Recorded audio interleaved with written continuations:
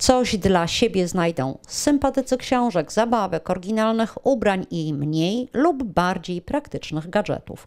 Po długiej pandemicznej przerwie na plac za Suwalskim Ośrodkiem Kultury wraca to społeczne wydarzenie, podczas którego w nasze ręce może trafić wymarzony skarb. Warto nas odwiedzić i znaleźć coś, o czym marzyło się pół życia, zachęca organizator i informuje, że pierwsze spotkanie odbędzie się 4 lipca.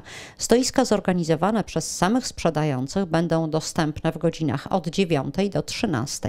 Ani wstęp na plac, ani miejsce na stoisku stoisko nie są obłożone opłatami. Suwalski Ośrodek Kultury liczy, że łagodne ograniczenia sanitarne będą pozwalały na realizację pchlego targu przez cały tegoroczny sezon letni i podaje kolejne terminy wydarzenia. Zaplanowano je w każdym z letnich miesięcy po dwa spotkania najbliższe 4 lipca, a kolejne już 18.